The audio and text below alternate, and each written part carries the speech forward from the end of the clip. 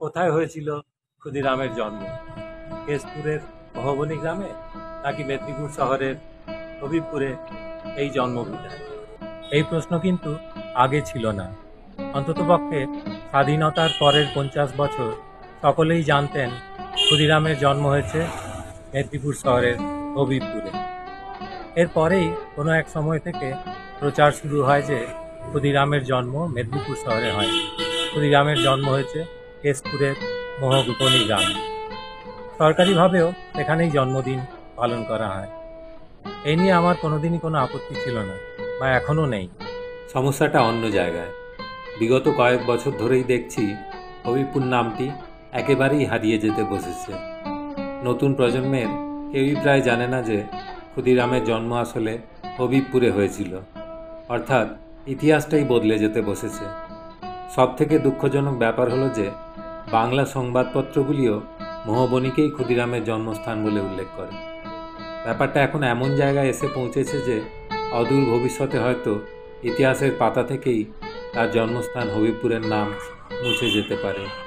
সেই কারণেই আমি এই ভিডিওটি বানালাম। প্রথমেই বলি মোহবনীর কথা। মোহবনীতে যে ক্ষুদিরামের জন্ম হয়েছিল, এর সপক্ষে কোনো তথ্য বা প্রমাণ নেই। কোনো বইতেও লেখা ছিল না।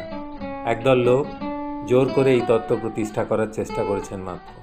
আর হ্যাঁ সংবাদপত্রগুলিও একটা সময়ের পর থেকে মোহবনীকেই ক্ষুদিরামের জন্মস্থান বলে উল্লেখ করে। ব্যাস, এইটুকুই। এবার আসি হবিবপুর প্রসঙ্গে। প্রথমেই আমি স্বয়ং ক্ষুদিরামের দেওয়া তথ্যের কথা উল্লেখ করব। ক্ষুদিরাম ফাঁসির কয়েকদিন আগে নিজের হাতে একটি সংক্ষিপ্ত আত্মজীবনী লিখে কালীপদ বসুকে দিয়েছিলেন। সেখানে তিনি নিজের হাতেই লিখেছেন, আমার পৈতৃক ভিটা মেদিনীপুর হইতে দশ বারো ক্রোশ উত্তর মুখে মোহবনী নামক একটি ক্ষুদ্র গ্রামে। মেদিনীপুরে আমার জন্ম হয়। এই লেখাটির ফটোকপি প্রথম ছাপা হয়েছিল সারা বাংলা শহীদ ক্ষুদিরাম আত্মোৎসর্গ শতবর্ষ উদযাপন কমিটির প্রকাশিত বইতে। পরে দু হাজার আঠেরো সালে আমি আমার লেখা কে ক্ষুদিরাম বইতে ছেপেছিলাম। মিস্টার জে ই আর্মস্ট্রং, ক্ষুদিরামের আত্মজীবনীটি, তৎকালীন সিআইডির DIG, mister C W C প্লাউডেনকে পাঠিয়ে এই চিঠি লিখেছিলেন।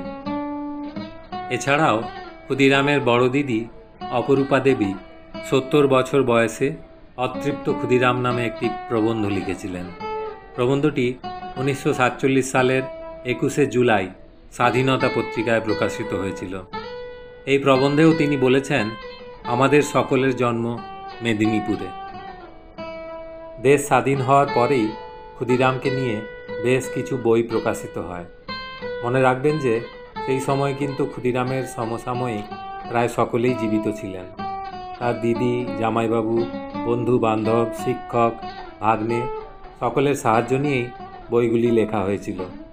সেই সমস্ত বইতেই লেখা রয়েছে, ক্ষুদিরামের জন্ম মেদিনীপুর শহরের হবিবপুরে। এই প্রসঙ্গেই বলি ভাগ্নে ললিতের কথা। সম্পর্কে ভাগ্নে হলেও প্রায় সমবয়স্ক ললিতমোহন ছিলেন ক্ষুদিরামের ভাই, বন্ধু সব কিছুই একসঙ্গে বড় হয়েছিলেন দুজনে। সেই ললিতমোহনবাবু কী লিখছেন শুনুন। ত্রৈলোক্যনাথ বসু হবিবপুর মহল্লায় অবস্থিত প্রসিদ্ধ সিদ্ধেশ্বরী কালী মন্দিরের সম্মুখস্থ এক ব্রাহ্মণের ভূখণ্ড ক্রয়পূর্বক তথায় বসোপযোগী একটি কাঁচা ঘর প্রস্তুত করান এবং সপরিবারে তথাতে বাস করিতে থাকেন। ক্ষুদিরামের বড় দিদি অপরূপা, মেজ দিদি সরোজিনী এবং ছোট দিদি ননিবালা উক্ত হবিপুরস্থ বাটিতেই ভূমিষ্ঠ হন। ত্রৈলোক্যনাথের কনিষ্ঠ পুত্র ক্ষুদিরাম আঠেরোশো উননব্বই খ্রিস্টাব্দের তেসরা ডিসেম্বর, মঙ্গলবার প্রাতকালে ছটার সময় এই বাসভূমিতেই জন্মগ্রহণ করেন। ক্ষুদিরামের আগেই দু দুটি পুত্র সন্তান কোল শূন্য করে চলে গেছিল লক্ষ্মীপ্রিয়া দেবীর তিনি দীর্ঘজীবী পুত্র লাভের কামনায় তিন দিন শুদ্ধভাবে অনাহারে সিদ্ধেশ্বরী কালী মন্দিরে হত্যা দেন। তৃতীয় দিন গভীর রাত্রে স্বপ্নে মা কালী আবির্ভূত হয়ে বর দেন যে তিনি আবার একটি পুত্র লাভ করবেন। এই ঘটনার প্রায় এক বছর পরে, আঠেরোশো উননব্বই সালের তেসরা ডিসেম্বর, শুক্লপক্ষে মহাকাশ থেকে খসে পড়েছিল একটি উজ্জ্বল নক্ষত্র। মেদিনীপুর শহরে হবিপুর মহল্লার একটি বাড়িতে ভেসে উঠেছিল নবজাতকের কান্না। ধন্য হয়েছিল মেদিনীপুর। শঙ্খধ্বনিতে মুখরিত হয়েছিল একটি বাড়ি। শিশুর কান্নায় জন্ম নিয়েছিলেন সিদ্ধেশ্বরী কালী মায়ের বরপুত্র ক্ষুদিরাম। এই সেই বাড়ি, আর এর ঠিক উল্টো দিকেই রয়েছে সিদ্ধেশ্বরী কালী মায়ের মন্দির। অনেকেই বলেন যে এই বাড়িটি ক্ষুদিরামের দিদির বাড়ি। তারা ভুল জানেন। জায়গা কিনে এখানে মাটির বাড়ি করেছিলেন ক্ষুদিরামের পিতা ত্রৈলোক্যনাথ। তিনি মেদিনীপুরে নারাজোর রাজ এস্টেটের তহসিলদার ছিলেন। তৎকালীন প্রচলিত সংস্কার ছিল যে, আতুর ঘরে সন্তানকে বিক্রি করতে পারলে সন্তান দীর্ঘজীবন লাভ করবে। সেই আশা ও বিশ্বাসে ক্ষুদিরামের জন্মদিনই লক্ষ্মীপ্রিয়া দেবী ক্ষুদিরামকে তিন মুঠো খুদের বিনিময়ে তার বড় মেয়ে অপরূপার কাছে বিক্রি করে দেন। অপরূপা দেবী তখন থাকতেন ঘাটাল মহকুমার হাটগেছিয়া গ্রামে তার শ্বশুর বাড়িতে। এই ঘটনার বর্ণনা দিয়েছেন অপরূপা দেবী নিজেই। অপরূপা দেবীর মৃত্যু হয় উনিশশো পঞ্চাশ সালে। তিনি যে বাড়িতে থাকতেন, সেই বাড়িতেই এখন থাকেন তার পৌত্র সুব্রত রায় এবং শ্রী মমতা রায়। আসুন, তাদের মুখ থেকেই শুনে নি সেই কাহিনী। নারায়ণ রাজার আন্ডারে কাজ করতেন আমাদের ওই লক্ষণাথ হরিপুর কালী মন্দিরের উল্টো দিকে একটি জায়গায় তিনি জমি কেনে বাড়ি বাড়ি তৈরি করেন। তারপরে ক্ষুদিরামের যখন জন্ম হয়, তখন তার দিদি মানে তৈলকুনাথ বাবু যে বড় মেয়ে, তার হাটিয়ে ছেতে বিয়ে হয়েছিল উনি ওকে ওনাকে ওখান থেকে নিয়ে আসা হয়। ক্ষুদিরামের যখন জন্ম হয়, তখন অপরূপা দেবীকে তার মা লক্ষ্মীপ্রিয়া দেবী তার কুলে তুলে দেন। তিন মুখেও কুলের বিনিময়। তাই জন্যে ক্ষুদিরামের নাম রাখা হয় ক্ষুদিরাম বলে রাখা হয়। আসল নাম লক্ষ্মীনারায়ণ। ওখানেই ওই হবিপুরে ক্ষুদিরামের জন্ম হয়। আর আমাদের ঠাকুমা মানে আমার শ্বশুরের মা উনি এই বাড়িতে অলিগঞ্জের এই বাড়িতেই থাকতেন। উনিশশো পঞ্চাশ সালে ওনার মৃত্যু হয়।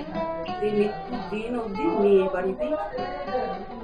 ত্রৈলোক্যনাথ বসুর মৃত্যুর পরে তার দেনার দায়ে বাড়ি সমেত জায়গাটি নিলাম হয়ে যায়। এরপর উনিশশো সাতচল্লিশ সালের চোদ্দোই আগস্ট, অর্থাৎ স্বাধীনতার ঠিক আগের দিন হবিপুরের বাসিন্দারা ঠিক করেন যে, ক্ষুদিরাম যেই জায়গায় জন্মেছিলেন, ঠিক সেই জায়গায় একটি বেদি তৈরি করবেন। কিন্তু কে দেখিয়ে দেবেন সেই জায়গা? ঘোড়ার গাড়িতে করে আনা হলো অপরূপা দেবীকে।